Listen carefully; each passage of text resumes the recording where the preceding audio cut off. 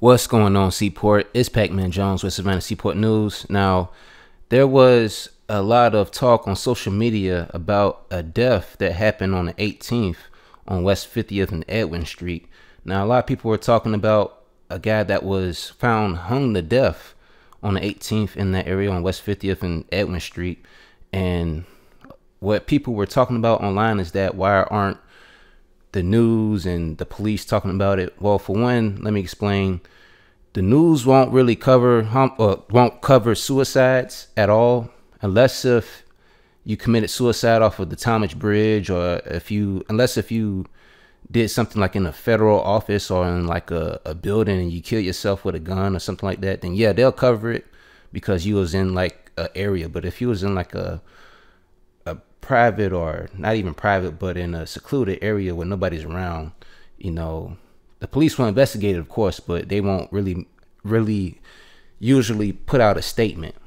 But however, a lot of people were talking about and speculating about it, uh, about the person that was found deceased.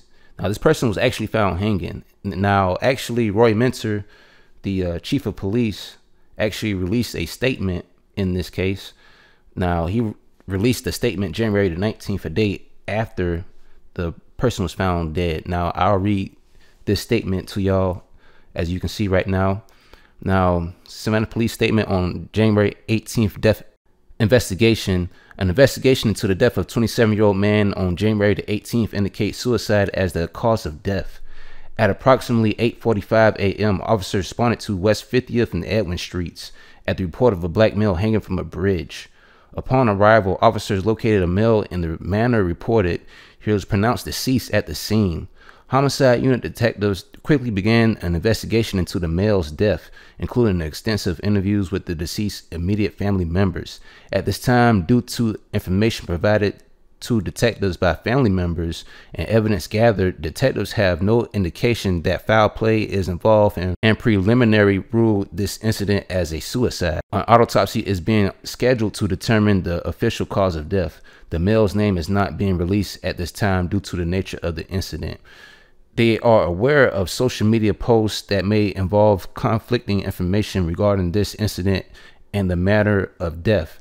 However, as stated, the Savannah Police Department is confident that all information thus far indicates this involves a tragic suicide and is not result of any foul play. We are continuing to communicate with the family to offer various means of support and referral services. Now, hold up. If I'm not mistaken, a police uh, department is out there. Hold up, y'all. I'm gonna be back. I'll be back. Hold up. So right now I'm about to pull up on Edwin Street and 50th Street. I'm just turning on 50 on Edwin Street right now. And if I'm able to, I'll show y'all the area in which the person died at. I'm on West 51st. West 50th. Okay, now this is the police department training center. Okay. This is the intersection where they say the person was killed. See that bridge right there ahead of y'all? I'm gonna hop out and show y'all what's what, but this is where apparently the guy committed suicide. So this part, get out.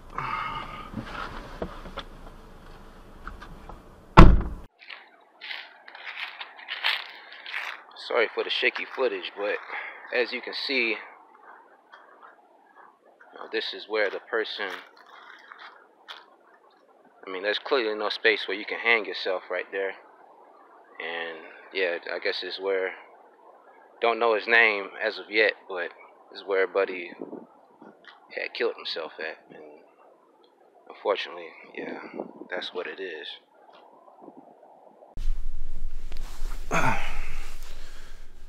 All right. Well, uh, you know, attitude kind of changed seeing that bridge and the fact that somebody could have possibly killed himself. You know, I know what a lot of people thinking. A black male found hanging from a bridge. You know, they automatically rule it as somebody racist was trying to hang a black person.